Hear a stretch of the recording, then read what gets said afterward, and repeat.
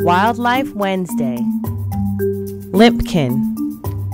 Limpkins get their name from how they walk across wetlands with a slight limp. They are also known as the crying bird for their loud and intense call. They like to eat apple snails and will live where they are abundant.